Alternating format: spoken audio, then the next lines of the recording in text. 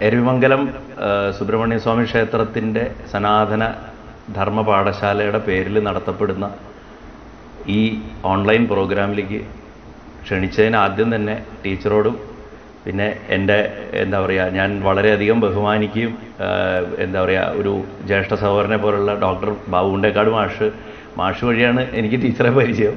അപ്പോൾ മാഷ് മാഷക്കും ഒരുപാട് നന്ദി. പിന്നെ ഈ ഗ്രൂപ്പിൽ തന്നെ എന്റെ സഹോദര തുല്യനായിട്ടുള്ള വളർന്നു വരണ കഥകളി ഗായകൻ നമ്മുടെ രുദ്ര നവീൻ രുദ്രൻ നവീനും ഉള്ളതാണെന്ന് എനിക്കറിയാം. അപ്പോൾ വളരെ സന്തോഷം. എനിക്ക് എരവിമംഗലം അമ്പലത്തിൽ വന്നിട്ട് തൊഴാനൊന്നും സാധിച്ചിട്ടില്ല ഇന്നേവരെ. എന്നാലും ആ ക്ഷേത്രത്തിലേക്ക് വന്നതായിട്ട് ഞാൻ വിചാരിക്കുന്നു. കാരണം എന്താ വെച്ചാൽ ആ ക്ഷേത്രത്തിലേക്ക് ക്ഷണിക്കപ്പെട്ടതായിട്ടാണ് ഞാൻ വിചാരിക്കുന്നത്. അപ്പോൾ ആ ക്ഷേത്രത്തിന്റെ അങ്കണത്തിൽ ഇരുന്നു കൊണ്ട് നമുക്ക് ഭഗവാനെ പറ്റിയിട്ട് പറയാൻ പറ്റുക എന്ന് സാധിക്കുന്ന ആ ഒരു ഭാഗ്യം ഉണ്ടല്ലോ. അപ്പോൾ ആ ഒരു ഭാഗ്യമാണ് ഇന്ന് ഗുരുവായൂരപ്പൻ നമുക്കിപ്പോൾ തന്നിരിക്കുന്നത് എന്ന് എനിക്ക് തോന്നുന്നത്. എന്നെ സംബന്ധിച്ചിടത്തോളം ഞാൻ ഏറ്റവും കൂടുതൽ ഇപ്പോൾ കുറച്ച് കാലമായിട്ട് സംസാരിക്കുന്നത് ഭഗവാനെ ഗുരുവായൂരപ്പനെ കുറിച്ചാണ്. പക്ഷേ അതിന് കുറച്ച് മുമ്പുള്ളൊരു കാലഘട്ടത്തിൽ സുബ്രഹ്മണ്യസ്വാമി ജീവിതത്തിൽ നിറഞ്ഞു നിന്നിരുന്നൊരു കാലമുണ്ടായിരുന്നു ഇപ്പോഴും അതിനൊരു കുറവൊന്നും വന്നിട്ടൊന്നുമില്ല. ഞാൻ ആകെ എന്റെ ജീവിതത്തിൽ എനിക്ക് എന്റേതായിട്ടൊരു പ്രതിഷ്ഠ നിർവഹിക്കാൻ സാധിച്ചിട്ടുള്ളത് ആ ആറുപടയുടെ നാഥനായിട്ടുള്ള സുബ്രഹ്മണ്യസ്വാമിയാണ്. പത്നിമാരോട് കൂടിയിട്ട്. ഇവിടെയല്ല തമിഴ്നാട്ടിലൊരു ക്ഷേത്രത്തിലാണ് ഞാനത് പ്രതിഷ്ഠിച്ചിട്ടുള്ളത്. നന്നായി പോണു അമ്പലം നന്നായി നടക്കുന്നുണ്ട്. കുറേ വർഷമായി ഇപ്പോൾ ഒരു പന്ത്രണ്ട് വർഷത്തിന്റെ മുകളിലായി. ഒരു പങ്കുനി ഉത്തരം ദിവസമാണ്. പത്നിമാരെ രണ്ടുപേരെയും മടിയിലിരുത്തിയിരിക്കുന്ന യുദ്ധം കഴിഞ്ഞിട്ട് താരകാസുരനെ കൊന്നിട്ട് വരുന്ന രൂപത്തിൽ വളരെയധികം വിശപ്പോട് കൂടിയിട്ടുള്ളൊരവസ്ഥയിൽ ക്ഷീണിച്ച് തളർന്ന് വിശപ്പോട് കൂടിയിട്ടുള്ളൊരവസ്ഥയാണ് ആ ഒരു അവസ്ഥയിലുള്ള ഒരു ഭാവത്തിലാണ് ഭഗവാനെ പ്രതിഷ്ഠിച്ചിട്ടുള്ളത്. പഞ്ചലോഹ വിഗ്രഹം.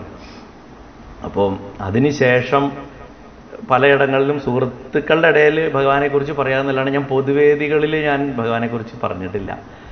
അപ്പോൾ ഇന്ന് അതിന് നിമിത്തമായ രവിമംഗലത്തെ എല്ലാ ഭക്തജനങ്ങളോടും ടീച്ചറോട് പ്രത്യേകിച്ചും എനിക്ക് ഒരുപാട് നന്ദിയും കടപ്പാടും ഉണ്ട്. ഭഗവാന്റെ അനുഗ്രഹം അദ്ദേഹം സന്തോഷിച്ച് നിങ്ങളെല്ലാവരെയും അനുഗ്രഹിക്കട്ടെ. ഗുരുവായൂരപ്പനും മുരുകനും മഹാദേവനും ഒന്നും തമ്മിൽ വ്യത്യാസമില്ല. ഒക്കെ ഏകമാത്ര സ്വരൂപമായിട്ടുള്ള ബ്രഹ്മം തന്നെയാണ്. ഒരു സംശയമില്ലേ ഗുരുവായൂരപ്പന്റെ പ്രിയപ്പെട്ട മരുമകനാണ്. പെരുമാൾ മരുകൻ എന്നാണ് മുരുകനെ പറ്റി പറയുക അപ്പോൾ ഞാൻ അദ്ദേഹത്തിന്റെ ക്ഷേത്രാങ്കണത്തിൽ വന്നിരുന്നിട്ട് ഞാൻ ഭഗവാൻ ഗുരുവായൂരപ്പനാണെങ്കിലും ഭഗവാൻ മഹാദേവനെ കുറിച്ചാണെങ്കിലും അമ്മയെക്കുറിച്ചാണെങ്കിലും ഞാൻ പറഞ്ഞാൽ ഭഗവാന് സന്തോഷമേ ഉണ്ടാവുള്ളൂ. ഞാൻ ആദ്യം ശരിക്ക് മനസ്സിൽ വേറൊരു ഭഗവാൻ പറഞ്ഞിട്ടുള്ളൊരു ഉപനിഷത്ത് പറയാമെന്നാണ് വിചാരിച്ചത്. സുബ്രഹ്മണ്യസ്വാമിയുടെ മൊഴികളിലൂടെ വന്നിട്ടുള്ളൊരു ഉപനിഷത്ത് പറയാമെന്ന് വിചാരിച്ചു. പക്ഷെ അരമണിക്കൂർ അതിന് പോരാ.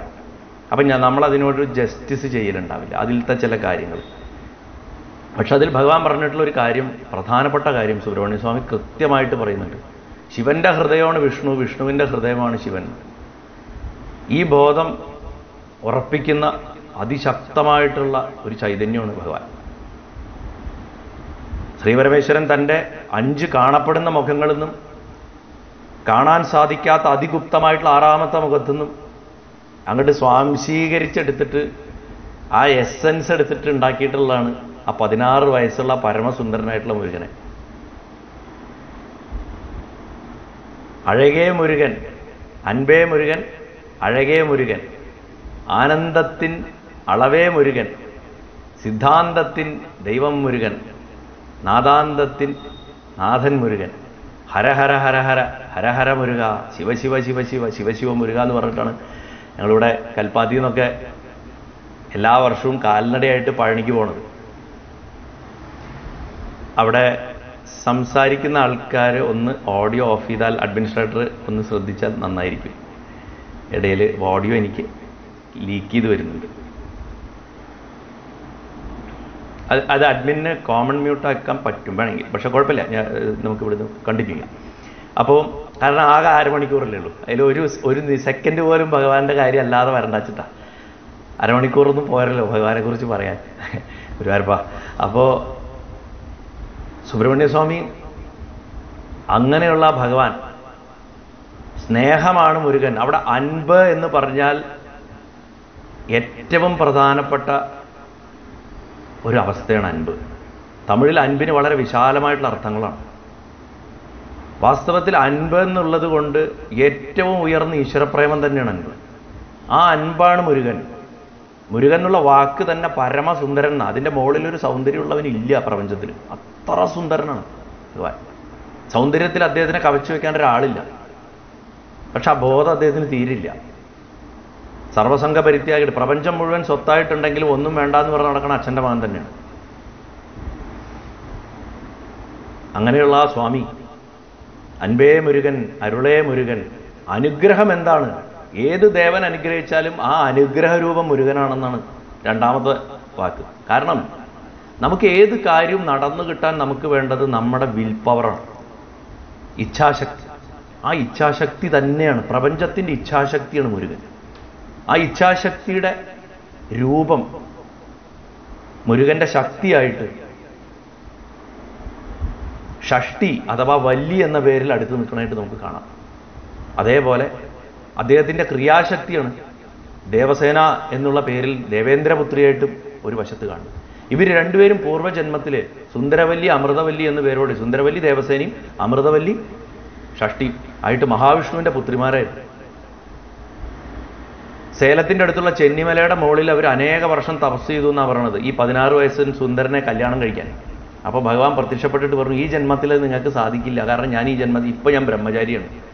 നിങ്ങൾ ഇന്നിന്ന സ്ഥലങ്ങളിൽ ദേവേന്ദ്രപുത്രിയായിട്ടുള്ള ദേവസേനയായിട്ടും വേടന്റെ വേടരാജാവിന്റെ പുത്രിയായിട്ടുള്ള വലിയായിട്ടും ജനിക്കുന്ന കാലത്ത് ഞാൻ നിങ്ങളെ വിവാഹം ചെയ്തോളാം എന്ന് അദ്ദേഹം സത്യം ചെയ്തിട്ട് അവർ ആ ശരീരം അപ്പോൾ അവിടെ ഉപേക്ഷിക്കണേ അപ്പം എല്ലാ അർത്ഥത്തിലും ശ്രീപാർവതിയുടെ പുത്രനായതുകൊണ്ട് ഭഗവാന്റെ മരുമകനാകുക മാത്രമല്ല മഹാവിഷ്ണുവിന്റെ ആ ഗുരുവായൂരപ്പന്റെ മകളുടെ മക്കളുടെ രണ്ട് പെൺമക്കളുടെ ഭർത്താവും കൂടിയാണ്. തമിഴ് പുരാണങ്ങളനുസരിച്ചിട്ട് സുബ്രഹ്മണ്യ സ്വാമി. അൻപേ മുരുകൻ അരുളേ മുരുകൻ. അപ്പോൾ അരുൾ എന്ന് പറഞ്ഞു കഴിഞ്ഞാൽ നമുക്ക് ആദ്യം അനുഗ്രഹമായിട്ട് വേണ്ടത് നമ്മുടെ ഇച്ഛാശക്തി വർധനമാണ് ആ വിൽ പവർ നമുക്ക് ഉണ്ടെങ്കിൽ മാത്രമേ നമുക്ക് മുന്നിട്ടിറങ്ങി ഒരു കാര്യം വൃത്തിയായിട്ട് ചെയ്യാൻ പറ്റുള്ളൂ. അപ്പോൾ ആ കാര്യം സാധ്യം നടക്കും അവിടെ. അതുകൊണ്ട് ഭഗവാനിൽ നിന്ന് കിട്ടുന്ന അരുൾ മുരുകനാണ് എന്ന് പറഞ്ഞതിന്റെ അർത്ഥം അതാണ്. മുരുകൻ എന്ന് പറഞ്ഞു കഴിഞ്ഞാൽ പ്രപഞ്ചത്തിന്റെ വിൽപ്പവറാണ് ഋഗ്വേദത്തിന്റെ ഒന്നാമത്തെ മന്ത്രം അഗ്നിം മീളേ പുരോഹിതം യജ്ഞസ്യദേവ മൃത്യുജം ഹോതാരം രക്തദാതം എന്ന് പറഞ്ഞാൽ അഗ്നി ആ എന്ന് പറഞ്ഞാൽ മുന്നിൽ എന്നാണ് അർത്ഥം. അവിടെ നിന്ന് നയിക്കുന്നവൻ എന്നർത്ഥം മുന്നിൽ നിന്ന് നയിക്കുന്നവൻ അഗ്നി എന്നാണ്. അങ്ങനെയുള്ള മുന്നിൽ നിന്ന് നയിക്കുന്ന അഗ്നി എന്ന് പറയുമ്പോൾ സേനാപതിയെ. നമ്മുടെ സകലവിധ കഴിവുകളുമാണ് നമ്മുടെ സൈന്യം. ആ സൈന്യത്തിന് മുന്നിൽ നിന്ന് നയിക്കുന്നവൻ. അത് നമ്മുടെ വിൽ പവറാണ് ആ വിൽ പവർ ഇല്ലെങ്കിൽ എന്ത് കഴിവുണ്ടായിട്ടും കാര്യമില്ല. മടി പിടിച്ച് ഇങ്ങനെ തൂങ്ങിക്കിടക്കും. അതാണ് മുരുകൻ അത് പ്രപഞ്ചത്തിന്റെ വിൽ പവറാണ് അദ്ദേഹം. അദ്ദേഹം ബ്രഹ്മത്തിനെ പൂർണമായിട്ടും ബ്രഹ്മസ്വരൂപിയായത് കാരണം സുബ്രഹ്മണ്യൻ അദ്ദേഹത്തിന് പേര്. ആ ബ്രഹ്മണ്യദേവനായിട്ടുള്ള ഭഗവാൻ ആനന്ദത്തിന്റെ അളവാണെന്നാണ് പറയുന്നത് നമുക്ക് ആനന്ദം എന്ന് പറഞ്ഞാൽ എന്താ? സന്തോഷം പറഞ്ഞ തുള്ളിച്ചാടുകയല്ല. ഞാൻ പലപ്പോഴും പറയാറുണ്ട്. നമ്മൾ സന്തോഷം എന്ന് വിളിക്കുന്നൊരു ലൗകികമായ സന്തോഷത്തിന്റെയും ദുഃഖം എന്ന് വിളിക്കുന്ന ലൗകികമായിട്ടുള്ളൊരു ദുഃഖത്തിന്റെയും ഒന്നുമില്ലാത്ത സമമായിട്ടുള്ളൊരവസ്ഥ. ആ സമമായ അവസ്ഥയിലാണ് ആനന്ദാവസ്ഥ ഉണ്ടാവുക. ബ്രഹ്മബോധം. അതിന്റെ അളവ് എന്ന് പറഞ്ഞിട്ട് ഒന്നുണ്ടെങ്കിൽ അത് മെഷർ ചെയ്യണമെങ്കിൽ ഭഗവാനെ കണ്ടാൽ മതി എന്നാണ് അതുകൊണ്ട് മാത്രമാണ് അമരകോശത്തിൽ അമരസിംഹൻ പറഞ്ഞതിപ്പോൾ ഞാൻ രണ്ടു ദിവസം മുമ്പ് ശങ്കരദിഗ്വിജയത്തിന്റെ അവസാന ഭാഗത്ത് പറഞ്ഞു. അമരകോശം സംസ്കൃതത്തിന്റെ അടിസ്ഥാന നിഘണ്ടുവാണ്. അതിൽ സ്വാമി എന്നുള്ള വാക്കിന് വേറെ ആരെയും സ്വാമി എന്ന് വിളിച്ചിട്ടില്ല. സ്വാമി എന്ന് പറഞ്ഞാൽ ദേവസേനാപതി സ്കന്ധൻ എന്ന് പറഞ്ഞിട്ടുള്ളത്. വിശാലമായ തോളുകൾ ഉള്ളതുകൊണ്ട് സ്കന്ധൻ. അച്ഛനും മഹാദേവനും ആ പേരുണ്ട്. തമിഴിൽ കന്ദൻ എന്ന് പറയും. ആനന്ദത്തിന്റെ അളവാണ് മുരുകൻ. സിദ്ധാന്തത്തിന്റെ സിദ്ധന്മാരുടെ പരമമായിട്ടുള്ള അവസ്ഥയുടെ ദൈവമാണ് സിദ്ധന്മാരുടെ രാജാവാണ് അദ്ദേഹം. അതാണ് സിദ്ധാന്തത്തിന്റെ ദൈവമാണ് മുരുകൻ എന്ന് പറയുന്നത് നാദാന്തത്തിൻ നാദത്തിന്റെ അവസാനം നമ്മൾ എത്തിച്ചേരുന്നത് എവിടെയാണ്? ആ ബ്രഹ്മം അതിന്റെ നാഥനുമാണ് ഭഗവാൻ. എന്നിട്ട് നമ്മൾ പറയണം ഹര ഹര ഹര ഹര. ആ ശിവ ശിവസ്വരൂപിയായിട്ടുള്ള ഹര ഹര എന്നുള്ള അർത്ഥത്തിൽ അത് ശിവൻ എന്നുള്ള അർത്ഥത്തിലെടുക്കാം. ആകാശത്തിൽ അഗ്നി പടർത്തണവൻ എന്നുള്ള ആ വാക്കിന്റെ അർത്ഥം. ആകാശം നമ്മുടെ ചിതാകാശമാണ്. ആ ചിതാകാശത്തിൽ അഗ്നി പടർത്തണവൻ ഹകാരും രകാരും രണ്ടക്ഷരങ്ങൾ ആകാശത്തിനെ കുറിക്കണു ഹ ര അഗ്നിയെ കുറിക്കണു അതല്ലെങ്കിൽ നമ്മുടെ സകല ദുഃഖങ്ങളെ അർത്ഥില്ലാണ്ടാക്കണവൻ ഹര ഹര ഹര ഹര ഹര ഹര.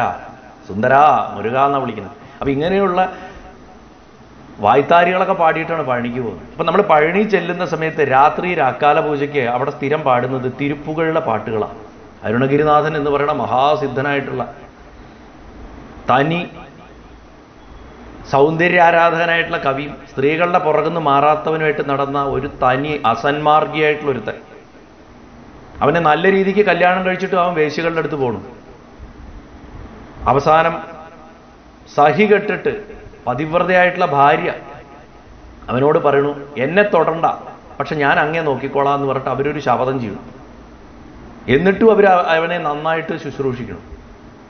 അവൻ ആകെ ഉണ്ടായിരുന്നത് ആ കല്യാണത്തിന് മുമ്പ് അവന്റെ ചേച്ചിയാണ്. ആ ചേച്ചി അമ്മ എന്നുള്ള പോലെയാണ് വളർത്തിയത് അനിയനെ. ഇവൻ കുഷ്ഠരോഗം ബാധിച്ചിട്ടും അവൻ ഇഷ്ടപ്പെട്ട വേശ്യരടുത്തേക്ക് കൊണ്ടുപോകാൻ ഭാര്യയെ നിർബന്ധിക്കുമ്പോൾ അവന്റെ ചേച്ചി വന്നിട്ട് ആ അരുണഗിരിയോട് പറയണ് നിനക്ക് അത്രയ്ക്ക് മാംസത്തിനോട് ദാഹണ്ടെങ്കിൽ എന്റെ ശരീരം ഉപയോഗിച്ചോ എന്ന് പറയും. അതോടുകൂടി മനസ്സ് തകർന്ന് തരിപ്പണാവണ അരുണഗിരി അരുണാചല ക്ഷേത്രത്തിന്റെ തിരുവണ്ണാമല ക്ഷേത്രത്തിന്റെ സുബ്രഹ്മണ്യ സ്വാമിയുടെ ഗോപുരമുണ്ട്. അച്ഛന്റെ ഗോപുരം വേറെയുണ്ട്. ആ പ്രാകാരത്തിന്റെ ഉള്ളിൽ തന്നെ സുബ്രഹ്മണ്യ സ്വാമിയുടെ ക്ഷേത്രത്തിന്റെ മുകളിൽ ആ ഗോപുരത്തിൽ കയറിയിട്ട് താഴേക്ക് ചാടി ആത്മഹത്യ ചെയ്തു. ആത്മഹത്യ ചെയ്യാൻ ചാടി. ചാടിയപ്പോൾ ഒരാൾ വന്ന് അങ്ങോട്ട് അങ്ങോട്ട് പിടിച്ചു കയ്യിൽ. അങ്ങനെ നിലയ്ക്ക് നേരക്ക് നിർത്തി. എന്നെ എന്തിനാ രക്ഷിച്ചു വെച്ചിട്ട് അയാളെ കുറെ തല്ലു അടിക്കുകയൊക്കെ ചെയ്തു? ഒരു ചെറുപ്പക്കാരൻ പത്ത് പതിനാറ് പതിനേഴ് വയസ്സാണ്. ഒക്കെ കേട്ട് അടി ഇടിയൊക്കെ കൊണ്ടിട്ട് പറഞ്ഞു. വായിൽ ഇങ്ങനെ വെച്ചിട്ട് പറഞ്ഞു മിണ്ടാണ്ടിരിക്കുക അവിടെ ഒരു സ്ഥലം കാണിച്ചു കൊടുത്തിട്ട് സുമ്മായിര് എന്ന് പറഞ്ഞിട്ട് അപ്രത്യക്ഷനായി തമിഴിൽ സുമ്മായിര് എന്ന് പറഞ്ഞാൽ തമിഴ് ശൈവ സിദ്ധാന്തത്തിൽ അതീവ മനോഹരമായിട്ടുള്ള അർത്ഥതലങ്ങളുള്ളൊരു വാക്കാണ്. എന്താ സുമ്മായിര് എന്ന് പറഞ്ഞാൽ? സുമ്മായിര് എന്ന് പറഞ്ഞാൽ അടക്കിയിരിക്കുക. ശരീരം മനസ്സ് പ്രാണൻ സകലതും അടക്കിയിരിക്കുക. ബ്രഹ്മബോധത്തിൽ നിഷ്ഠനായിരിക്കുക. അതാണ് സുമ്മായിര് വെറുതെ ഇരിക്കുക എന്നാണ്. അങ്ങനെ വെറുതെ ഇരിക്കുക എന്ന് പറഞ്ഞിട്ട് അദ്ദേഹം പോയി. എന്തോ ഒരു ആജ്ഞാശക്തിക്ക് അടിപ്പെട്ട പോലെ അരുണഗിരി അവിടെ ഒരു മൂലയ്ക്ക് ചെന്നിട്ടിരുന്നു. ദേഹമാസകലം അതിസുന്ദരനായിരുന്നു അതിസുന്ദരനായിരുന്നവനാണ് പക്ഷെ ഇപ്പൊ ദേഹാസകലം പ്രണാണ് പഴുത്തൊലിക്കുകയാണ് കുഷ്ഠരോഗത്തിന്റെ മഹത്തായിട്ടുള്ള എന്താ പറയാ ഒരു കർമ്മഫലം കൊടുക്കണ ഇതിൽ വെച്ചിട്ട് ഏറ്റവും ഗംഭീര അസുഖമായതുകൊണ്ടാണ് അതിനെ വാഴ്ത്തിയിട്ടുള്ള ശ്ലോകങ്ങൾ തന്നെ ഉണ്ട് സംസ്കൃതത്തിൽ ചിലത്. മഹത്താണെന്ന് പറയണം കാരണം പൂർവകർമ്മത്തിന് തീർത്തു കൊടുക്കണം. വിരലുകളൊക്കെ അറ്റു വീണു തുടങ്ങിക്കഴിഞ്ഞു ദ്രവിച്ചിട്ട്. അത്ര വിശേഷ എന്താ പറയുക മോശപ്പെട്ടിട്ടുള്ള ഒരവസ്ഥ. അങ്ങനെയുള്ള ഒരാളെയാണ് രക്ഷിച്ചിട്ട് അവിടെ ഇരുത്തണത്. അവനെ ചാവാൻ പോലും സമ്മതിച്ചില്ല. അവിടെ കുറേ ദിവസം ഇരുന്നു. പിന്നെ എപ്പോഴോ കണ്ണടച്ചു എപ്പോഴോ മനസ്സുറച്ചു അങ്ങനെ ഒരു വർഷം കഴിഞ്ഞു രണ്ട് വർഷം കഴിഞ്ഞു മൂന്ന് വർഷം കഴിഞ്ഞപ്പോഴേക്കും ശരീരത്തിലെ വ്രണങ്ങളൊക്കെ താനെ പോകാൻ തുടങ്ങി. തേജോമയനായി. ബ്രഹ്മബോധം ശരിക്കും ഉറച്ചു. ഉറച്ചുറച്ച് ഉറച്ചുറച്ചിരിക്കുമ്പോൾ ഒരു ദിവസം രാത്രി ഒരു വിശേഷപ്പെട്ടിട്ടുള്ള ജവാദിന്റെയും കുറിക്കൂട്ടുകളുടെയും ഒക്കെ മണം അവിടെ പരന്നു. ശംഖനാഥം മുഴങ്ങി മണിയടി കേട്ടു. ഒരു സിദ്ധന് സിദ്ധാവസ്ഥ കിട്ടണ സമയത്ത് എന്തൊക്കെ ലക്ഷണങ്ങൾ ഉണ്ടാവുമോ അതൊക്കെ ഉണ്ടായി. ആ നേരത്ത് സാക്ഷാൽ സുബ്രഹ്മണ്യസ്വാമി അദ്ദേഹത്തിന്റെ മുന്നിൽ ആറ് വയസ്സുള്ളൊരു കുട്ടിയായിട്ട് പ്രത്യക്ഷപ്പെട്ടു. അരുണഗിരി എന്ന് പറഞ്ഞ് വിളിച്ചു. കണ്ണു തുറന്നു നോക്കി ചുറ്റും നോക്കി കണ്ടില്ല. അപ്പനെ നിന്നെ കാണില്ലല്ലോ എവിടെ നീ ചോദിച്ചു. ഞാൻ നിന്റെ മുന്നിൽ തന്നെ നിൽക്കണ്ടല്ലോ എന്നെ സൂക്ഷിച്ചു നോക്ക്. മനസ്സടക്കി നോക്ക് എന്ന് പറഞ്ഞപ്പോൾ മുന്നിൽ തൊട്ടപ്പുറത്തൊരു തിട്ടിന്റെ മുകളിൽ നിൽക്കണുണ്ട് അപ്പോ ഞാൻ എന്തു പുണ്യം ചെയ്തിട്ടാ നീ എന്റെ മുന്നിൽ പ്രത്യക്ഷപ്പെട്ടവരോട് നമസ്കരിച്ചപ്പോൾ അതൊക്കെ അവിടെ ഇരിക്കട്ടെ. എന്നെ വാഴ്ത്തി നീ പാടുകയെന്ന് പറഞ്ഞു. അപ്പൊ പറഞ്ഞു ഞാൻ പെണ്ണുങ്ങളുടെ സൗന്ദര്യം മാത്രം വാഴ്ത്തി പാടിയിട്ട് സരസ്വതി അപമാനിച്ചവനാണ്. എന്റെ നാക്കും എന്റെ എഴുത്താണി നശിച്ചതാണ്. ഞാൻ നിന്നെ എങ്ങനെ വാഴ്ത്തി പാടാനാണെന്ന് ചോദിച്ചു. എനിക്ക് എന്താ നിന്നെ വാഴ്ത്തേണ്ടതെന്ന് അറിയില്ല എന്ന് പറഞ്ഞു. അങ്ങനെ പറഞ്ഞപ്പോൾ ആ കരുണാമയനായിട്ടുള്ള ഭഗവാൻ തന്റെ തൃവ്യ ആ തൃക്കൈയിലിരിക്കുന്ന വേലെന്ന് പറയുന്ന ജ്ഞാനശക്തിയായിട്ടുള്ള വേൽ മൂന്ന് ശക്തിയാണ് മൂന്ന് പത്നിമാരാണ് ശരിക്കും സുബ്രഹ്മണ്യ സ്വാമിക്ക്. ഇച്ഛാശക്തിയായിട്ടുള്ള ദേവസേന വല്ലി ക്രിയാശക്തിയായിട്ടുള്ള ദേവസേന ജ്ഞാനശക്തിയായിട്ടുള്ള വേൽ. വേൽ പക്ഷെ ഒരു ആയുധ രൂപത്തിലായിരിക്കുന്നത് ആ വേലെടുത്ത് തിരിച്ചു പിടിച്ചിട്ട് അതിന്റെ കട കൊണ്ട് നാക്ക് നീട്ടുക എന്ന് പറഞ്ഞു. നാക്ക് നീട്ടി അരുണഗിരി അരുണഗിരിയുടെ നാക്കിൽ ഓംകാരം എഴുതി ഇനി പാടുക എന്ന് പറഞ്ഞു. അങ്ങനെ പാടിയതാണ്. മുത്തൈത്തിരുപത്തിത്തിരുനകയത്തിക്കിര ചത്തിച്ചരവണ മുത്തുക്കുരുകിത്തു ഗുരുപരയനബോധും ഒരു ദിവസം എടുത്താൽ തീരില്ല. ആ ഒരു ശ്ലോകം മാത്രം ആ ഒരു നാല് വരി മാത്രം എടുത്തിട്ട് പറഞ്ഞു. അത്ര മഹത്തരാണ് അതിന്റെ അർത്ഥങ്ങൾ. അങ്ങനെയുള്ള അരുണഗിരി ചെല്ലിയ തിരുപ്പുകളുടെ ശ്ലോകങ്ങൾ ആ വരികൾ ശ്ലോകം എന്ന് പറയാൻ പാടില്ല തമിഴിലെ നാല് നാല് വരികളാണ് ഈരടികൾ ഈരടികളായിട്ടുള്ള നന്നാൽ വരികൾ ചേർന്നിട്ട് വരണ ഈ രണ്ട് ഈ രണ്ട് വരികൾ ചേർന്നിട്ടുള്ള നാല് നാല് സെഗ്മെന്റുകൾ അത് രാത്രി ഭഗവാൻ ആ അക്കാല പൂജയുടെ സമയത്ത് രാചന്ദ്രനൊക്കെ തേക്കണ സമയത്ത് അവിടെ പാടും. ചില നമുക്ക് അത്യ അത്യാവശ്യം തിരക്കിലേക്ക് ഇരുന്ന് കാണാൻ പറ്റും കേൾക്കാൻ പറ്റും. ഗുരുക്കന്മാരത് പാടും ഗുരുക്കന്മാരാണ് അത് പാടുക അവിടെ. അപ്പോൾ ഞാൻ എന്താ വിചാരിച്ചു വെച്ച് കഴിഞ്ഞാൽ നിങ്ങൾക്ക് ഇന്ന് ഇനി വരണ ഇരുപത്തിയഞ്ച് മിനിറ്റ് കൊണ്ട് ഇരുപത്തി മൂന്ന് മിനിറ്റ് കൊണ്ട് അതിന്റെ രണ്ടാമത്തെ ശ്ലോകം രണ്ടാമത്തെ സ്റ്റാൻസ അത് ഒന്ന് ചുരുക്കി വിശദീകരിച്ച് പറയാം. കാരണം രണ്ടാമത്തെ സ്റ്റാൻസ് വളരെ വിശേഷം. ആടും പരിവേലനണിച്ചേവലനെ പാടും പടിയെ പണിയാവരുൾവായി തേടും കയമമാ മുഖനൈ ചെരുവിൻ ചാടും തനിയാനൈ സഹോദരനെ നം. അതിന്റെ തമിഴിന്റെ ബ്യൂട്ടി വേറെയാണ് പക്ഷെ നമുക്ക് അർത്ഥം മാത്രം എടുക്കാം. തനി ആനയായിട്ടുള്ളവന്റെ സഹോദരനെ ഗജമുഖൻ എന്ന് പറഞ്ഞ അസുരനെ കൊന്നവനാണ് അദ്ദേഹത്തിന്റെ ജ്യേഷ്ഠൻ എന്ന് നമ്മൾ പറയുന്ന സാക്ഷാൽ ഗണപതി ഭഗവാൻ. സങ്കൽ പല കഥകളിലും നമ്മൾ അദ്ദേഹത്തിന് ജ്യേഷ്ഠനാണെങ്കിലും കുമാരസംഭവത്തിന്റെ അവതാര ചരിത്രമൊക്കെ എടുത്തു നോക്കിക്കഴിഞ്ഞാൽ സുബ്രഹ്മണ്യ സ്വാമിയുടെ അനിയനാണോ ഗണപതി ഭഗവാൻ എന്ന് തോന്നിപ്പോകും. കാരണം ശിവപാർവതിമാർക്ക് ആദ്യം ജനിച്ച പുത്രനെ പോലെയാണ് പറയുന്നത്. ഈ മക്കളൊന്നും സാധാരണ ദമ്പതികൾക്ക് ഉണ്ടാവുന്ന മാതിരി ലൈംഗിക ബന്ധത്തിൽ കൂടെ ഉണ്ടായിട്ടുള്ള മക്കളല്ല. അവരൊക്കെ അതാത് ദേവതകളുടെ ശക്തി നിന്നുണ്ടായിട്ടുള്ളത്. അമ്മ തനിതായിട്ട് തന്റെ ശരീരത്തിൽ നിന്ന് സൃഷ്ടിച്ച അമ്മയുടെ സ്വന്തം കുട്ടിയാണ് അമ്മ ചെല്ലാണ് തമിഴ് ഭാഷയിൽ പറഞ്ഞ ഗണപതി ഭഗവാൻ. അത് അങ്ങനെ അമ്മയാണ് സ്വഭാവം കൊണ്ടും രീതികൾ കൊണ്ടും ഒക്കെ. ഇത് അങ്ങനെ അച്ഛൻ അച്ഛൻ അച്ഛനെ അങ്ങോട്ട് കടഞ്ഞുണ്ടാക്കിയതാണ് ആറ് ദിവ്യ സ്ഫുലിംഗങ്ങളെ അഗ്നിയുടെയും വായുവിന്റെയും കൈ കൊടുത്ത ശരവണപ്പൊയ്കെ കൊണ്ടിട്ട് അതിൽ ആറ് താമരകളിൽ വിരിഞ്ഞ് കൃത്യമാരാൽ ആറ് നക്ഷത്രങ്ങളാൽ എടുത്ത് വളർത്തപ്പെട്ട്. ആ കഥയൊക്കെ നമുക്കറിയാം. അങ്ങനെയുള്ള ആ ഭഗവാൻ നിങ്ങളുടെ ക്ഷേത്രത്തിൽ ഇരിക്കുന്നു ആ എരവിമംഗലത്തിരിക്കണു ഭഗവാൻ. അദ്ദേഹത്തിനെ നമുക്ക് സാഷ്ടാംഗം നമസ്കരിക്കാം. ആ മുരുകൻ അങ്ങനെയുള്ള മുരുകൻ അങ്ങനെയുള്ള ഗണപതി ഭഗവാന്റെ അനിയനായിട്ടുള്ള ആ മുരുകന്റെ വേലായുധത്തിനെയും അദ്ദേഹത്തിന്റെ വായുധം വാഹനായിട്ടുള്ള ആ മയിലിനെയും അദ്ദേഹത്തിന്റെ ആ കോഴി കുക്കുടം അടയാളമായിട്ടുള്ള തൃപ്പതാകിയും ആ പതാകിയും നിത്യവും വർണിച്ചു പാടുവാൻ എന്നിൽ കൃപ ചെയ്യണേ മുരുക എന്നാ പ്രാർത്ഥിക്കണത് അരുണഗിരി. രണ്ടാമത്തേൽ ഏത് പൂജ തുടങ്ങുന്നതിന് മുമ്പും ഏത് കർമ്മം ചെയ്യുന്നതിന് മുമ്പും നമ്മൾ ഗണപതി ഭഗവാനെ ആരാധിക്കും.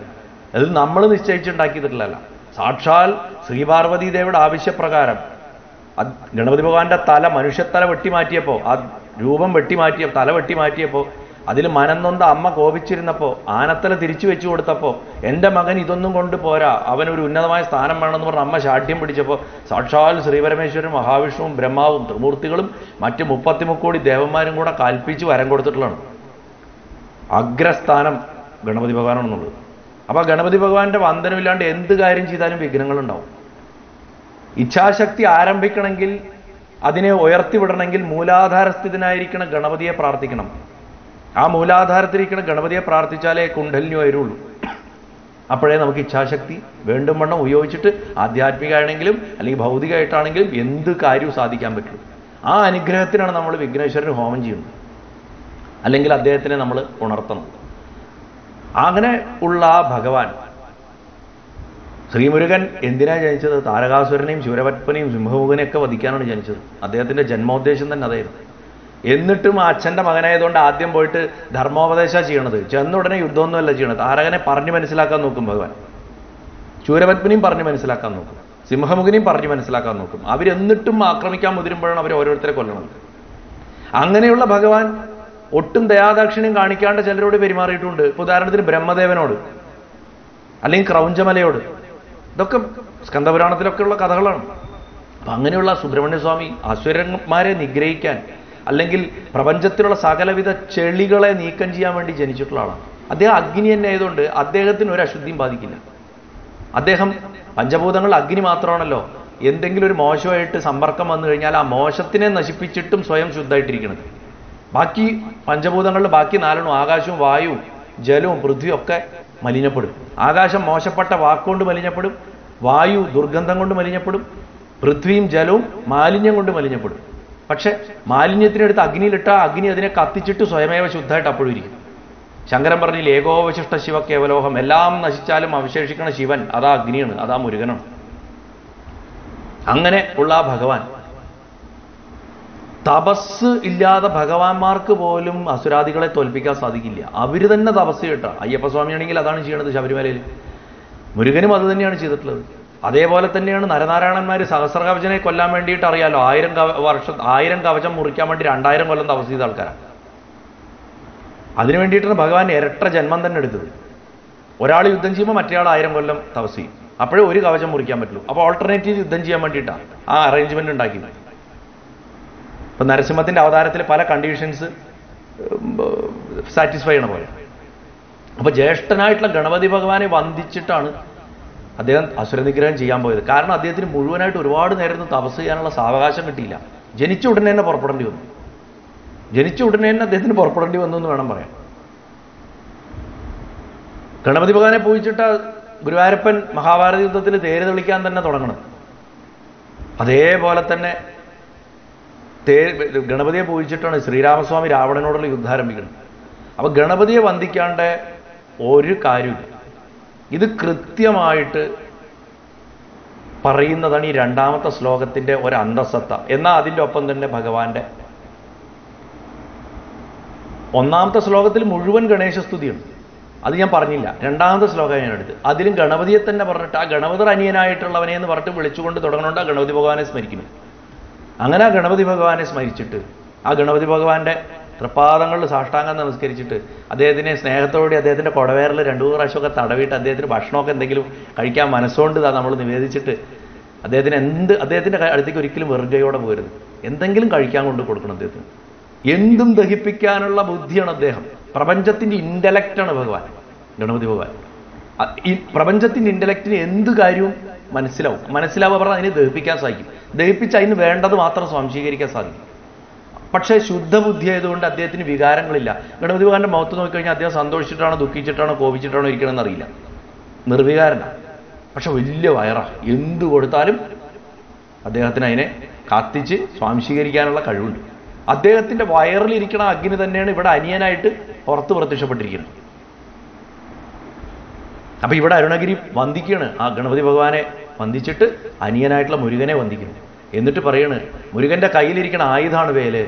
വേലാകണ ആയുധം ധരിച്ചവനെ ഭക്തന്മാർ എന്താ വിളിക്കുക വേലായുധൻ എന്ന് വിളിക്കുന്നു. വേൽ എന്നുള്ളൊരു വിശേഷ വാക്കാണ് തമിഴിൽ മാത്രമേ ഉള്ളൂ വാക്ക്. സംസ്കൃതത്തിൽ അധികം അത് കാണില്ല. സംസ്കൃതത്തിലേക്ക് പോയതാണ് വേൽ എന്നുള്ള വാക്കുകൾ ഒരു ദണ്ട് ആ ദണ്ടിന്റെ അറ്റത്ത് ആലില വാരി വിടർന്നിട്ട് അതിന്റെ അറ്റം കൂർത്തിട്ടുള്ളതാണ് ഈ വേൽ എന്ന് പറയുന്നത്. തൃശൂലം പോലെയല്ല. ആലില മാതിരി പരന്നിട്ടാണ് ഒരു മുഖമുണ്ട് നമ്മുടെ ശരീരത്തിന്റെ ആ സ്പൈനൽ കോഡിനെയാണ് അതിന്റെ തണ്ട് പ്രതിനിധീകരിക്കുന്നത്. ശിരസിനെയാണ് ആ ആലില പ്രതിനിധീകരിക്കുന്നത്. അതിന്റെ ടിപ്പിനെ സഹസ്രാരം പ്രതിനിധീകരിക്കുന്നത്.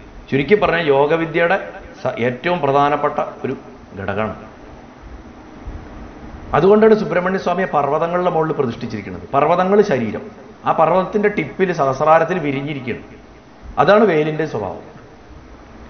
ശില്പശാസ്ത്രത്തിൽ പറഞ്ഞ എന്താ വെച്ച് കഴിഞ്ഞാൽ നമ്മൾ പ്രതിഷ്ഠ ഉണ്ടാക്കുമ്പോൾ പ്രത്യേകിച്ചും ചിത്രം വരയ്ക്കുകയാണെങ്കിലും നല്ല ഉത്തമമായിട്ടുള്ള മുരുകന്റെ ചിത്രങ്ങളുടെ ലക്ഷണം എന്താ വെച്ച് കഴിഞ്ഞാൽ മുരുകന്റെ വേൽ വലത്തെ കാലിന്റെ കൺ ആ വലത്തെ കാലിന്റെ എന്താ പറയുക ഈ കാലിന്റെ ഇടയുടെ അവിടെ വെച്ചാൽ ആ വേലിന്റെ കൂർത്ത അറ്റം ഭഗവാന്റെ പുരുകത്തിന്റെ തൊട്ടായിരിക്കണം എന്നാണ് ഇങ്ങനെ വരണം കറക്റ്റ് ഇവിടെ വരണം. ഇതിന്റെ മുകളിലേക്ക് നിൽക്കരുത് ഇവിടെ വരണം. ഇതൊരു വ്യവസ്ഥയാണ്. അതൊരു നിയമമാണ് കിരീടത്തിന്റെ മുകളിലേക്ക് ഒരിക്കലും വേൽ നിൽക്കരുത് അങ്ങനെയുള്ള വേൽ വെക്കാൻ പാടില്ല.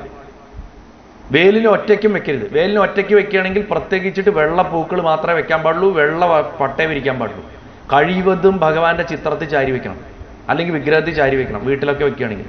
അങ്ങനെയുള്ള ഈ വേൽ ധരിച്ചിട്ട് ഈ കൃത്യം മെഷർമെന്റ് ധരിച്ചിട്ടുള്ള വേൽ വെച്ചിട്ടുള്ള മുരുകബിംബത്തിന് വളരെയധികം ശക്തി ഉണ്ടാവും. അങ്ങനെ പിടിക്കുന്ന ഭക്തന്മാർക്കും ശക്തി വർദ്ധിക്കും. അതുകൊണ്ടാണ് അമ്മ കൊടുത്തത് കൊണ്ടും ആ വേൽ സ്വയമേവ ജ്ഞാനശക്തി ആയതുകൊണ്ടും അതിനെ ശക്തിവേൽ എന്ന് വിളിക്കും. അതാണ് ശക്തിവേൽ. ശക്തിവേൽ മുരുകനക്ക് ഹരഹരോ ഹരാതൊക്കെ നമ്മൾ പറയും അല്ലേ? അപ്പോൾ അപ്പോ ആദിത്യൻ സൂര്യനെ സൂര്യന്റെ രശ്മികളിൽ നിന്നാണ് ശ്രീപരമേശ്വരൻ സുദർശനത്തിനെ സൃഷ്ടിച്ച് മഹാവിഷ്ണുവിന് കൊടുത്തതെന്ന് ശിവപുരാണത്തിലൊരു കഥയുണ്ട്. അതേ ചൈതന്യം തന്നെയാണ് വേലിലിരിക്കുന്നത്. വാസ്തവത്തിൽ ഈ വേലും സുദർശനവും തമ്മിൽ രഹസ്യബന്ധങ്ങൾ ഒരുപാടുണ്ട്. ഒരുപാട് മാന്ത്രിക കണക്ഷൻ ഉണ്ട് ഗുരുവായൂരപ്പന്റെ ശരീരത്തിൽ വേലി ചാരി വെച്ചിട്ടുള്ള പ്രതിഷ്ഠ കാണാനുള്ള ഒരു ഭാഗ്യം ഉണ്ടായിട്ടുള്ള ഒരാളാണ് ഒരു സ്ഥലത്ത്. കണ്ടാൽ മുരുകനാ തോന്നും പെട്ടെന്ന്. പക്ഷേ ഭഗവാനാണ്. ശംഖുചക്ര കഥാപത്മങ്ങളോട് കൂടിയിട്ട് വേലോട് കൂടിയിട്ടുള്ള മുരുകനെ ആരാധിക്കുന്നതും ഒരു സുദർശനഹോമം കഴിക്കുന്നതിനും തുല്യമാണ്. ഇത് തമിഴിലെ സിദ്ധപാരമ്പര്യങ്ങൾ കൃത്യമായിട്ട് കാണാം. അതുകൊണ്ടാണ് ശത്രു സംഹാര ത്രിശതി എന്നൊക്കെ പറഞ്ഞിട്ടുള്ള മന്ത്രങ്ങൾ ഇത്ര പവർ മുരുകന്റെ ശത്രു സംഹാര ത്രിശതിയൊക്കെ തോന്നണ മാതിരി ചെല്ലാൻ പറ്റുന്ന ഒരു ഇതല്ല മന്ത്ര നിബടമാണ് ഈ വേലി സൃഷ്ടിച്ചു കൊടുത്തത് ശ്രീപാർവതിയാണ് അമ്മ തന്നെ ആദിത്യബിംബത്തിന്റെ ചൈതന്യത്തിനെ ആവാഹിച്ചിട്ടാണ് കൊടുത്തിട്ടുള്ളത്. ഈ ആദിത്യബിംബം നമ്മൾ ഈ കാണുന്ന പുറമേയുള്ള സൂര്യനല്ല. ഏത് സവിതാവിനെയാണോ ഗായത്രി മന്ത്രം കൊണ്ട് നമ്മൾ ആന്തരിക സൂര്യനായിട്ട് ആരാധിക്കുന്നത്? തത് സവിതുർവരണ്യം. ആ സവിതാവിന്റെ ചൈതന്യത്തിനാണ്. അത് പ്രപഞ്ച ബ്രഹ്മമാണ്. പ്രപഞ്ചത്തിൽ മുഴുവൻ വ്യാപിച്ചിരിക്കുന്ന പ്രപഞ്ചം തന്നെയായിട്ടുള്ള ആ പരബ്രഹ്മമാണ്. ആ പരബ്രഹ്മ ശക്തിയെ തന്നെയാണ് വേലായി കൊടുത്തിട്ടുള്ളത്. ഈ വേലിന്റെ അറ്റത്തെ ആ ഇല എന്നുള്ളതിനെ മാറ്റി വച്ചിട്ട് ആ തണ്ട് മാത്രം കോൽ ധരിച്ചാൽ ദണ്ട് മാത്രം ധരിച്ചാൽ അതേ മുരുകൻ ദണ്ഡായുധപാണിയെ അവിടെ ആ ആൽ എന്നുള്ളൊരു സംഭവമില്ല. അതിനും ഒരു താന്ത്രിക രഹസ്യമുണ്ട്. അതൊന്നും ഇപ്പോൾ നമുക്കിവിടെ സംസാരിക്കാനുള്ളൊരു സമയമല്ല. ഈ മുരുകന്റെ ബിംബത്തിനെ മുടി വടിച്ച രൂപത്തിൽ. ദക്ഷിണ ദണ്ഡതര ഹസ്തമീഠേ കൗബീനം ധരിച്ച ഒരു ദണ്ട് മാത്രം ധരിച്ചു നിൽക്കുന്ന ആ രൂപത്തിലെ ഭജിച്ചാൽ നിശ്ചയമായിട്ടും ബ്രഹ്മജ്ഞാനം ലഭിച്ചിരിക്കും. അല്ലാണ്ട് ആൾക്കാർ കരുതുന്ന പോലെ ധനം കിട്ടില്ല. കാരണം അദ്ദേഹം ലൗകിക ജീവിതത്തിനെ അറുത്തു തരും. അതുകൊണ്ടാണ് ഭഗവാനെ മൊട്ടയാണ്ടിയെ ഭജിച്ചു കഴിഞ്ഞാൽ കാശ് പോകുമെന്നൊക്കെ പറയണതിന്റെ അർത്ഥം. ആൾക്കാർക്ക് പിന്നെ ആ വഴിക്ക് ചിന്തിക്കണമെന്നുള്ളതുകൊണ്ട് അവർ ഇതിന്റെ പുറകെ പോകില്ല ഭോഗം തരില്ല യോഗം തരും അവിടെ. ആ വരി ഭജിക്കണ വ്യക്തി ഭിക്ഷാന്തേഹിയായി തീരും എന്നാണ് പറഞ്ഞത്. പഴനിയിലെ മുരുകം മൊട്ടയാണ്ടി അല്ലാട്ടോ ആ നവഭാഷാണ വിഗ്രഹത്തിന് മുടിയുണ്ട്. പകുത്ത് വെച്ചിരിക്കുക ചുരുണ്ട് ചുരുണ്ട് ചുരുണ്ട് തോളത്തേക്ക് കിടക്കുന്നുണ്ട്. അതിനെ കെട്ടിയും വെച്ചിട്ടുണ്ട്. അത് നമ്മൾ അറിയണില്ല. നമ്മൾ മൊട്ടയാണ്ടിയാണെന്ന് പറഞ്ഞിട്ടുണ്ട്. പണ്ടത്തെ ചിത്രങ്ങൾ പലരും വരച്ചിരുന്നത് അത് കലണ്ടർ മിസ്റ്റേക്കുകളാണ്. ആർട്ടിസ്റ്റുകൾ വരുത്തിയ മിസ്റ്റേക്കാണ്. പഴനിയിലെ മുരുകൻ മൊട്ടയാണ്ടിയല്ല. ദണ്ടും വേലും രണ്ടും കയ്യിലുണ്ട് ഭോഗരി പ്രതിഷ്ഠിച്ചാണ്. ആ കഥയൊക്കെ വിശേഷ കഥകളാണ് ഏകദേശം ആറായിരം വർഷം മുമ്പ് അദ്ദേഹം അവിടെ പ്രതിഷ്ഠിച്ചു എന്നാണ് പറയുന്നത് അതിന്റെ അടുത്ത് തന്നെ അദ്ദേഹം സമാധിയായിട്ട് ഭോഗരുടെ സമാധിയുണ്ട്. ഈ സിദ്ധവൈദ്യം മർമ്മ ചികിത്സ ജ്യോതിഷം ദ്രാവിഡ പൂജകളുടെ പ്രതിഷ്ഠകൾ ഇങ്ങനെ അതുമാതിരി ആകാശത്ത് സഞ്ചരിക്കാനുള്ള വിമാന നിർമ്മിതികൾ ഇങ്ങനെ അനേക കാര്യങ്ങൾ ഭോഗർ ചെയ്തിരുന്നു. ഭോഗരുടെ വരവ് ചൈനയെന്നാണ് അദ്ദേഹം ചൈനക്കാരനായിരുന്നു. അദ്ദേഹം ഒരു ചൈനീസ് സിദ്ധനാണ്. അദ്ദേഹം തന്നെയാണ് ലാവോത്സു എന്ന് ഒരു വലിയ വിഭാഗം പണ്ഡിതന്മാർ പറയുന്നുണ്ട് താവോയിസത്തിന്റെ അദ്ദേഹം ഒരു കൂടുവിട്ട് കൂടുമാറ്റം നടത്തിയിട്ട് പിന്നെ ഇങ്ങോട്ട് പോന്നതാണ് ഭോഗർ പന്തീരായിരം എന്നൊക്കെ പറഞ്ഞിട്ട് പ്രസിദ്ധമായിട്ടുള്ള പുസ്തകങ്ങൾ ഭോഗം എന്ന് പറഞ്ഞാൽ അനന്തനാണ്. ഭോഗനാഥൻ എന്ന് പറഞ്ഞാൽ മഹാവിഷ്ണു. അതാണ് ഇതിന്റെ ഏറ്റവും വലിയ അർത്ഥം. അപ്പൊ സാക്ഷാൽ മഹാവിഷ്ണു തന്നെ ആയിരിക്കണം ഭോഗരായിട്ട് ജനിച്ച് മുരുകനെ പ്രതിഷ്ഠിച്ചത്. ഒരു സിദ്ധരൂപത്തിൽ ഗുരുവായൂരപ്പൻ തന്നെ പ്രതിഷ്ഠിച്ചതാണ് മുരുകനെ എന്നാണ് എന്റെ എളിയ വിശ്വാസം. ഏത് മെറ്റലിൽ നിന്നും സ്വർണം ഉണ്ടാക്കുന്ന ആൽക്കമി എന്ന് നമ്മൾ കേട്ടിട്ടുണ്ടാവും. അതിനെ നമ്മൾ എത്രയോ വർഷം മുമ്പ് ഇവിടെ മിഡിൽ ഏജസിൽ ദുർമന്ത്രവാദം ചെയ്ത് യൂറോപ്പിൽ ആൾക്കാർ ആൾക്കാരെ കൊന്നുകൂട്ടിക്കൊണ്ടിരുന്നപ്പോൾ മന്ത്രവാദിനികളെ പിടിച്ച് തീപിടിപ്പിച്ച് കത്തിച്ചു കൊണ്ടുവന്ന് കത്തിച്ചു കൊല്ലിയായിരുന്നു ചെയ്തുകൊണ്ടിരുന്നിരുന്നത്. ഒരു പർട്ടിക്കുലർ ഇന്നത്തെ ലോകത്തിലെ പ്രബലമായിട്ടുള്ള മതവിഭാഗം. ആ ചെയ്തുകൊണ്ടിരുന്ന കാലഘട്ടത്തിൽ നമ്മുടെ നാട്ടിൽ എത്രയോ അതിന് ആയിരം വർഷം മുമ്പേ രസവാദം എന്ന് പറഞ്ഞിട്ട് രസത്തിനെ ശുദ്ധി ചെയ്യുന്ന ഒരു ടെക്നിക്ക് ഉണ്ടായിരുന്നു. രാവണനാണ് അതിന്റെ ഉത്ഭവ ഉപജ്ഞാതാവ്. രാവണനാണ് ആ വിദ്യ കണ്ടുപിടിക്കുന്നത്. രാവണൻ മഹാവൈദ്യനായിരുന്നു. ഭോഗരും ഇതിന്റെ ഒരു ഒന്നാന്തര എക്സ്പെർട്ടായിരുന്നു ആ ഭോഗമഹർഷിയുടെ ശിഷ്യനായിരുന്നു പുലിപ്പാണി. പുലിപ്പാണിയും ചൈനക്കാരനാണ്. പുലിപ്പാണിയാണ് ആദ്യത്തെ പൂജാരി പഴനിയിലത്തെ. പക്ഷേ ഈ പുലിപ്പാണി തന്നെയാണ് നമ്മുടെ വ്യാഘ്രവാദ മഹർഷി. വൈക്കത്ത് സമാധി ഉണ്ടെന്ന് നമ്മൾ പറയുന്ന വ്യാഘ്രവാദ മഹർഷി. വൈക്കം പ്രതിഷ്ഠിച്ച ഏറ്റുമാനൂർ പ്രതിഷ്ഠിച്ച കടുത്തുരുത്തി പ്രതിഷ്ഠിച്ച ചിദംബരത്ത് പതഞ്ചലിന്റെ ഒപ്പം ആനന്ദ നടനം കണ്ടുകൊണ്ടിരിക്കുന്ന ആ വ്യാഘ്രവാദം തന്നെയാണ് പുലിപ്പാണി എന്നാണ്. പറഞ്ഞത് അപ്പൊ അദ്ദേഹത്തിനെ കുറിച്ച് വേറെ കുറേ കഥകളുണ്ട്. അത് ഞാൻ ശിവസങ്കല്പത്തിലൊക്കെ കുറച്ച് ദിവസം മുമ്പ് ഞാൻ കുറച്ച് ഈ കഴിഞ്ഞ ശിവരാത്രിക്ക് ഞാൻ പറഞ്ഞു. പുലിപ്പാണിന്റെ പേരിൽ തന്നെ ഒരു ജ്യോതിഷ പദ്ധതി തന്നെയുണ്ട്. പുലിപ്പാട് ജ്യോതിഷം എന്ന് പറഞ്ഞു അദ്ദേഹം ശിവനെ ആരാധിച്ചു തുടങ്ങി പിന്നെ മുരുകന്റെ ആരാധകനായി മാറി മുരുകനിൽ ലയിച്ചു ചേർന്ന ആളാണ് ഭഗവാൻ കോപത്തോടുകൂടി അഗ്നി സ്വഭാവമായതുകൊണ്ട് കോപത്തോടു കൂടിയാണ് മുരുകൻ ജനിക്കുന്നത്. പക്ഷെ അദ്ദേഹത്തിന് നമ്മൾ കരുതണമാതിരി അദ്ദേഹം തമ്മി തല്ലി പോയതല്ല. ജ്ഞാനപ്പഴം കിട്ടിയില്ല എന്ന് പറഞ്ഞു. ജ്ഞാനപ്പഴം ആയിട്ട് മാറണം താൻ തപസ് ചെയ്തിട്ട് എന്നുള്ള ബോധം ഉടലെടുത്തിട്ട് അദ്ദേഹം പഴനിയിലേക്ക് വരിക ചെയ്തു. അച്ഛനെ അമ്മയെ ഉപേക്ഷിച്ചിട്ട്. അവിടെ വന്ന് അദ്ദേഹം നാഗരൂപം പോണ്ടിട്ട് ആദ്യം തപസ് ചെയ്ത സ്ഥലമാണ് കർണാടകത്തിലെ സുബ്രഹ്മണ്യം കുമാരഗിരി എന്ന് പറഞ്ഞ പർവതത്തിൽ അദ്ദേഹം സർപ്പരൂപിയായിട്ടിരുന്നിട്ട് തപസ് ചെയ്തു എന്നാണ്. അതാണ് ശരിക്കും ഭഗവാന്റെ മൂലസ്ഥാനം. അവിടുന്ന് അദ്ദേഹം ഹിഡുംബൻ എന്ന് പറയണ ഒരു രാക്ഷസനെ അനുഗ്രഹിച്ചിട്ട് അവന്റെ ക്ഷണം സ്വീകരിച്ച് അവനൊരു ഭൂതമായിരുന്നു. രാക്ഷസനാണെന്നും ശിവഭൂതാണെന്നും പറയുന്നുണ്ട്. അങ്ങനെ ആ ബാലമുരുകൻ വന്നിട്ട് ഇരുന്ന സ്ഥലമാണ് പഴനിമല പഴം നീ എന്നുള്ള അർത്ഥത്തിൽ നീ തന്നെയാണ് പഴം. നമ്മൾ തത്വമസി എന്ന് നമ്മൾ പറയില്ല? അത് നീ തന്നെ എന്ന് പറഞ്ഞാൽ പഴം നീ. എന്ത് പഴം? ജ്ഞാനത്തിന്റെ പഴം നീ തന്നെയാണ് എന്ന് നമ്മളോട് പറയണ സ്ഥലമാണ് പഴനി. അങ്ങനെയാണ് സ്കന്ദപുരാണം പറഞ്ഞത്. അങ്ങനെ മകൻ പോയി കഴിഞ്ഞപ്പോൾ അമ്മയ്ക്ക് വലിയ വിഷമായി മകനെ പിരിഞ്ഞത്. അതിന്റെ വിഷമത്തിൽ അച്ഛൻ ആ മകനെ തിരിച്ചു കിട്ടാൻ അദൃശ്യനായിട്ട് എവിടെയോ പോയ ആ മകനെ തിരിച്ചു കിട്ടാൻ അമ്മയ്ക്ക് പ്രകൃതിയായിട്ടുള്ള അമ്മയ്ക്ക് പോലും തന്റെ പ്രകൃതിയിൽ എവിടെയാണ് ആ മകൻ ഇരിക്കണമെന്ന് അറിയാണ്ടായി പോയി നമ്മൾ അങ്ങനെയുള്ള ആ മകനെ തേടാൻ വേണ്ടിയിട്ട് അമ്മ നോറ്റതാണ് ഷഷ്ഠീവ്രതം. അപ്പം നാഗരൂപത്തിൽ കണ്ടു എന്നും ആ സുബ്രഹ്മണ്യം എന്ന് പറയുന്ന മഹാക്ഷേത്രത്തിൽ കർണാടകത്തിൽ കുക്കെ സുബ്രഹ്മണ്യ ക്ഷേത്രം അവിടെ വന്നപ്പോൾ മകൻ സമാധി നുടർന്നില്ല എന്നും. അപ്പൊ ഗുരുവായൂരപ്പൻ തന്റെ സ്വന്തം സഹോദരനായിട്ടുള്ള മഹാവിഷ്ണുവിനെ അമ്മ സ്മരിച്ചു. ഭഗവാൻ പ്രത്യക്ഷപ്പെട്ടിട്ട് തന്റെ തപസ് ചെയ്യണ മരുമകനെ ഏറ്റവും വാത്സല്യത്തോടു കൂടി നോക്കിയിട്ട് കണ്ണിന്ന് ആനന്ദവാഷം പൊഴിച്ച് കുറച്ചു നേരം നോക്കി നിന്നു. അതിനുശേഷം മഹാദേവനോടും ദേവിയോടും നമുക്ക് വഴി ഉണ്ടാക്കാം. എന്തിനും വഴി ഉണ്ടാക്കണവനാണല്ലോ ഗുരുവായൂരപ്പൻ. എന്ത് പ്രശ്നത്തിനും പ്രപഞ്ചത്തിൽ വഴി ഉണ്ടാക്കണമാണ് മൂപ്പര. തന്റെ കയ്യിലുള്ള ആ അനുഗ്രഹരൂപമായിട്ടുള്ള താമരപ്പൂ കൊണ്ട് ആ പൊന്ന് മുരുകന്റെ ശിരസിൽ മെല്ലെ തലോടി കൊടുത്തു. മൂന്ന് നാല് പ്രാവശ്യം. ഏത്? ആ പണത്തിന്റെ സർപ്പരൂപത്തിന്റെ. അല്ലാണ്ട് മനുഷ്യരൂപത്തിലല്ല.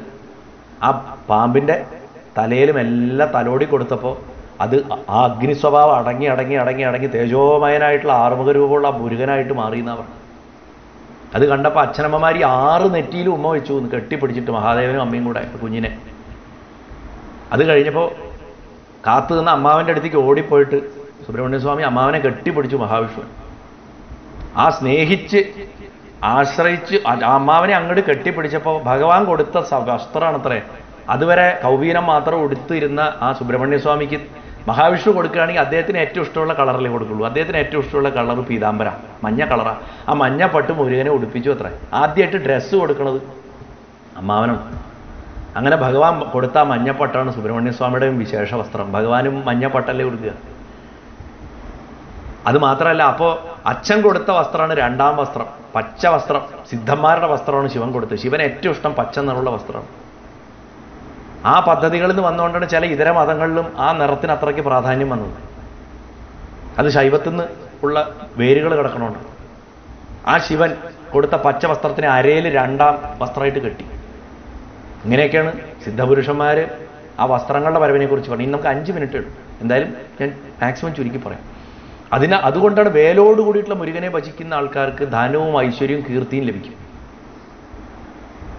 അതിനുശേഷം ആ മുക്തി പദവി ലഭിക്കുന്നതിന്റെ കാരണം. ദണ്ഡായുധവാണിയായിട്ടാണ് ഈ നേരിട്ട് മുക്തി പദവിയാണ് മഹാവിഷ്ണുവിനാൽ ആലിംഗനം ചെയ്യപ്പെട്ടവനായതുകൊണ്ട് ഭഗവാനാൽ കൊടുക്കപ്പെട്ടിട്ടുള്ള ആ പീതാംബരം ധരിക്കുന്നുണ്ട് മാത്രമല്ല ആറ് ആറ് മുഖത്തോട് കൂടി വരുമ്പോൾ പന്ത്രണ്ട് കൈ വരും അദ്ദേഹത്തിന്. ആ പന്ത്രണ്ട് കയ്യിൽ ശംഖും ചക്രവും അദ്ദേഹത്തിന്റെ ആയുധങ്ങളാണ് അപ്പോൾ വൈഷ്ണവമാണ് അദ്ദേഹം. വൈഷ്ണവായിട്ടും ഉണ്ട് അദ്ദേഹത്തിൽ അതീവ ചൈതന്യം. ഒരാണ്ട് ഭഗവാന്റെ രണ്ട് പുത്രിമാരെയാണ് പത്നിയായിട്ട് സ്വീകരിച്ചിട്ടുള്ളത്. ശുദ്ധശക്തി അദ്ദേഹത്തിന്റെ കയ്യിലിരിക്കുന്ന വേലാണ് അപ്പൊ ശാക്തേനാണ് ശൈവനാണ് വൈഷ്ണവനാണ്. ജ്യേഷ്ഠൻ എപ്പോഴും ചേർത്ത് പിടിച്ചിരിക്കുന്ന കാരണം ഗാണവത്തിനുണ്ട് സൂര്യന്റെ പ്രഭയം പോലെ തുല്യം ജ്വലിക്കുന്നവനും അതിൻ ആ സൂര്യനിൽ നിന്ന് ഉണ്ടാക്കപ്പെട്ടുള്ള ആയുധങ്ങളാൽ ശോഭിക്കുന്നവനായതുകൊണ്ട് സൗരമാണ് അതുകൊണ്ട് ശങ്കരൻ പറഞ്ഞിട്ടുള്ള ആദിശങ്കരൻ പറഞ്ഞിട്ടുള്ള ഷൺമതങ്ങളുടെയും സാര സംവിത്താണ് സുബ്രഹ്മണ്യ സ്വാമി മഹാവിഷ്ണുവിന്റെ അംശം ഇരിക്കുന്നത് കൊണ്ട് ഇഹവും പരവും ലഭിക്കുന്നതാണ് പറഞ്ഞിട്ടുള്ളത്. ഇഹത്തിനായി ചെയ്യുന്നതും പരത്തിനായിട്ട് ചെയ്യുന്നതും രണ്ടും കിട്ടും. ചട്ടമ്പി സ്വാമിയും നാരായണ ഗുരുദേവനൊക്കെ ബാലസുബ്രഹ്മണ്യ മന്ത്രം ഉപാസിച്ചിട്ടാണ് ആ അവസ്ഥയിലേക്ക് അവർക്ക് എത്താൻ സാധിച്ചത്. സാക്ഷാൽ മഹാദേവൻ ചട്ടമ്പി സ്വാമിക്കും ചട്ടമ്പി സ്വാമി നാരായണ ഗുരുദേവന് ഉപദേശിച്ചു കൊടുത്താണ് ബാലസുബ്രഹ്മണ്യ മന്ത്രം അത് ശ്രീവിദ്യാ സമ്പ്രദായത്തിൽപ്പെട്ടിട്ടുള്ളൊരു മന്ത്രമാണ് അതുകൊണ്ട് ലക്ഷ്മി കടാക്ഷവും മോക്ഷവും ഒക്കെ ഒരേപോലെ കിട്ടുമെന്ന് ആ സാക്ഷാൽ നാരായണ ഗുരുദേവന്റെയും ചട്ടമ്പി സ്വാമിയുടെയും ഗുരുനാഥനായിട്ടുള്ള തൈക്കാട്ട് അയ്യാസ്വാമി പറഞ്ഞിട്ടുണ്ട്. ശ്രീമുരുകന് പാർവതീദേവിയുടെ നിറവും സൗന്ദര്യമാണ് ഉള്ളത്. അതായത് തീക്കനലിൽ കിടക്കുന്ന സ്വർണക്കട്ടിയുടെ നിറമാണെന്നാണ് പറയുന്നത് അമ്മയുടെ സൗന്ദര്യവും അച്ഛന്റെ തപസ്സും എന്നാ പറയണത് മുരുകന്. അമ്മയുടെ സൗന്ദര്യവും അച്ഛന്റെ തപസ്സും. അർദ്ധനാരീശ്വരനായിട്ടുള്ള ശിവനിൽ നിന്നത് ഉത്ഭവിക്കുമ്പോൾ ഇവർ രണ്ടുപേരുടെയും ചൈതന്യം അതിൽ ഇല്ലാണ്ട വരില്ലല്ലോ. തിരുച്ചെന്തൂർ ഒഴിച്ച് ബാക്കി സകല സ്ഥലത്തും കടൽ തീരത്താണ് അല്ല മലമുകളിൽ അദ്ദേഹം തിരുച്ചെന്തൂർ മാത്രം കടൽ തീരത്തിരിക്കുന്നത്. അതുമാതിരി സുബ്രഹ്മണ്യസ്വാമി ഭഗവാന് പ്രണവത്തിന്റെ അർത്ഥം ഉപദേശിച്ചു കൊടുത്തു ഉപദേശിച്ചു കൊടുത്തു എന്ന് പറയും. അതല്ല അങ്ങനെ ഭഗവാൻ തന്നെ പറഞ്ഞിട്ടില്ല. നമ്മൾ അച്ഛന്മാരെപ്പോഴും മക്കളുടെ അടുത്ത് അല്ലെങ്കിൽ അമ്മമാരെപ്പോഴും മക്കളുടെ അടുത്ത് എന്താ ചോദിക്കുക?